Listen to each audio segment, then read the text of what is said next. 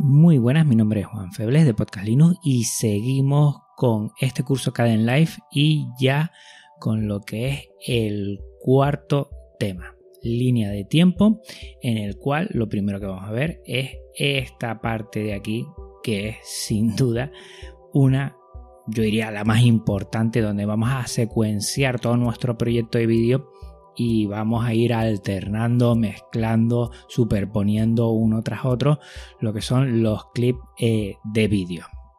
Comentarte, como ya te dije antes, que eh, yo había puesto 3 de vídeo y 3 de audio. Mm, te pasas por el episodio anterior para ver exactamente cómo se hace eso. Normalmente necesitaremos varios de vídeo para ir haciendo transiciones y poder alternar unos vídeos con otros. Y un tercero había dicho para los títulos de audio lo mismo tres. Mm, uno de música de fondo para mí otro del audio que estás oyendo de mi voz y un tercero para efectos de audio. Eso ya lo que tú necesites lo vas organizando lo hablamos en el episodio anterior.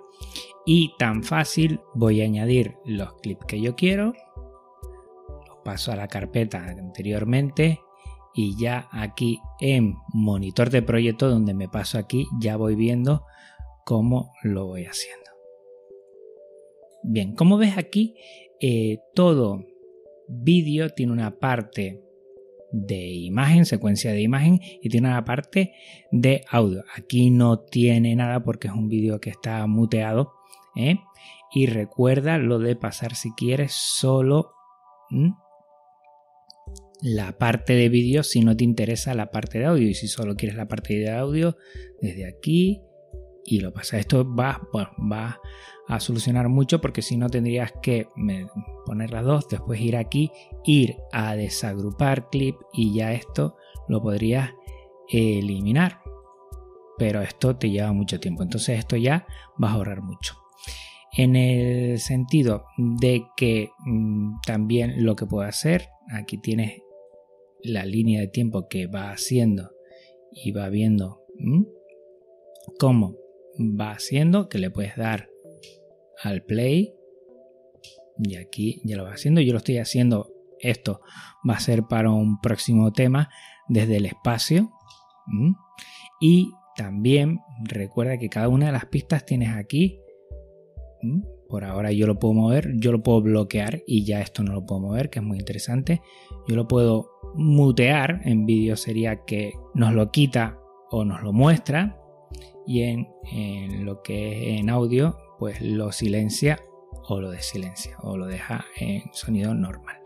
También esta parte de aquí la veremos en lo que es la parte de los efectos en que podemos poner efectos para todo una pista. Mm, yo creo que no es interesante, es mejor haciéndolo clip por clip, pero bueno, lo veremos en su momento. Y que todo esto lo puedo minimizar, por ejemplo, si tengo muchas pistas y trabajo sobre una, por ejemplo, puedo minimizarlas todas o expandirlas, lo hago desde aquí. Y también desde aquí le puedo poner algún nombre. Bueno, con esto vas a poder trastear un poquito más, pero para que lo sepas, ¿eh? esto te va a dar por ejemplo, darle mayor amplitud desde los tiradores, recuérdalo. ¿Eh? Y trabajar muy bien viendo eh, todo.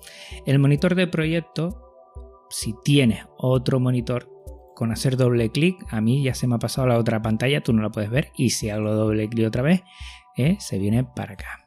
Vale, también dándole aquí un clip, paro, reproduzco y también eso son pequeñas cositas para que le saques bastante partido a la hora de tener un flujo de trabajo bastante eficiente.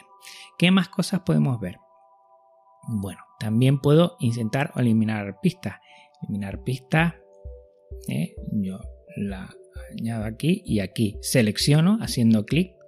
Siempre vas a tener, ahora lo vamos a ver, la herramienta de seleccionar y dándole a suprimir elimino. Yo puedo aquí mover un clip y si quiero mover varios clips, eh, le doy desde aquí, en esta, que también, y puedo mover varios a la vez desde donde yo lo tenga eh, puesto.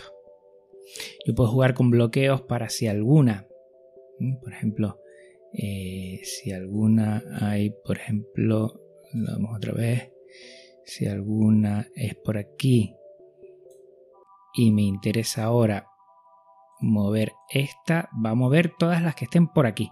Pero si esta no me interesa moverlo, por ejemplo, eh, puedo bloquearlo. ¿Mm?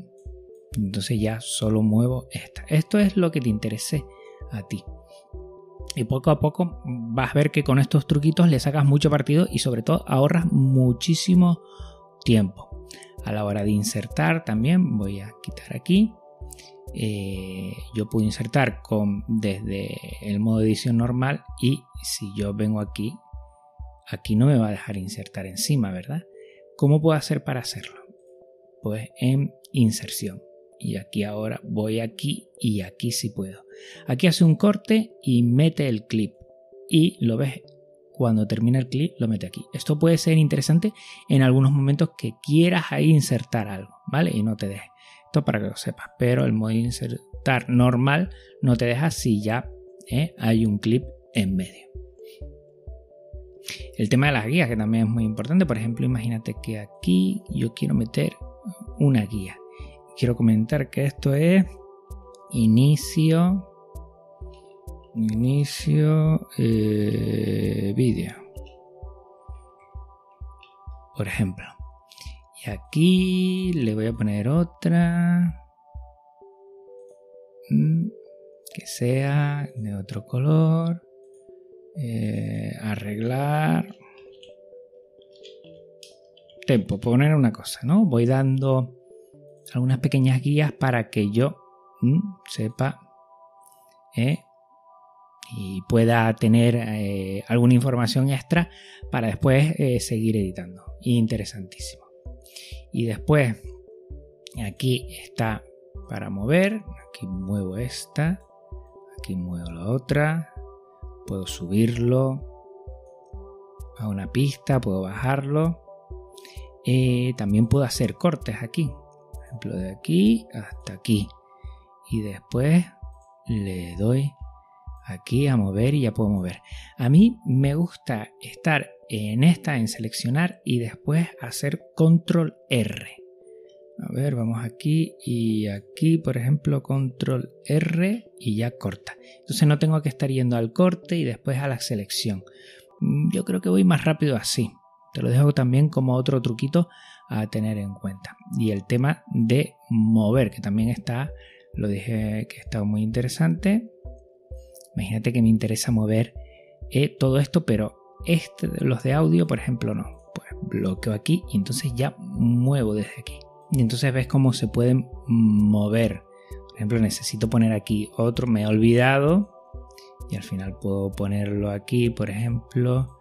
Ponerlo, vamos a volver a ponerlo aquí y ya de aquí muevo hasta aquí, por ejemplo. ¿Mm? Son pequeños truquitos para que vayas siendo muy rápido. Pues esto es lo que sería una parte muy importante, yo creo que es la parte más importante, ¿eh? que es la línea de tiempo donde vamos a organizar todo nuestro clic y le vamos a temporalizar, le vamos a dar una secuenciación para que al final obtengamos nuestro vídeo final con todos nuestros clips.